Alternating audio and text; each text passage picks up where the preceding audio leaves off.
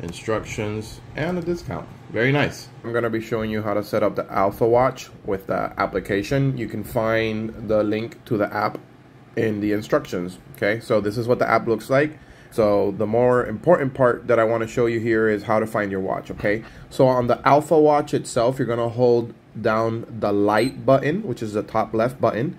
That's going to turn on the Bluetooth feature once you hear the second beep after pressing the button. From there, we're going to hit this menu on the top left. Right there it says device management. We're going to be searching and the watch we're looking for is X watch right here in the bottom. I should find the watch and that's it. Now it's paired to your phone. So this is basically just going to help you keep track of all the exercise and health uh, features that the watch provides, okay? Next, we're going to go to caution because you will receive push digital notifications, okay?